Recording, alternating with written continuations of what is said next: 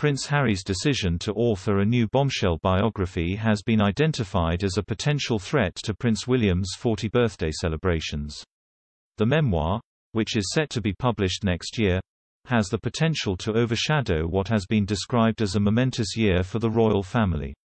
The Queen will celebrate her 70 years on the throne with a series of public events, with 2022 also marking the Duke of Cambridge's 40th birthday as well as the 25th anniversary of Princess Diana's death.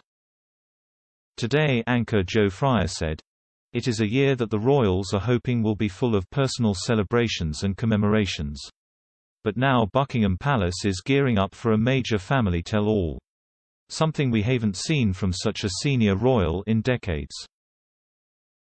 Royal expert Katie Nicholl said, They are going to have to wait a whole year now. Without of course knowing of course what is actually going to be in it. So I think the atmosphere is pretty tense.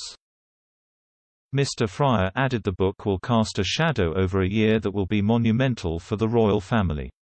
He said, the Queen will celebrate 70 years on the throne, her Platinum Jubilee. Her Majesty and members of your family will travel around the Commonwealth to mark the occasion. In June Prince William will celebrate his 40th birthday.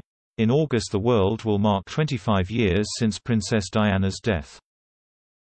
It comes as GB News presenter Colin Brazier raged against Harry's decision to pen the memoirs during a fiery monologue on Tuesday night.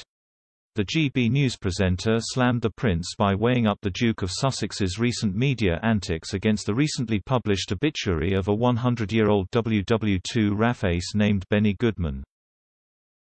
He said, What an antidote squadron leader Goodman's story is to the self-promotion, Windsor bashing, and muck-raking of Captain Wales, whose memoirs Goodman put his life repeatedly on the line for the king.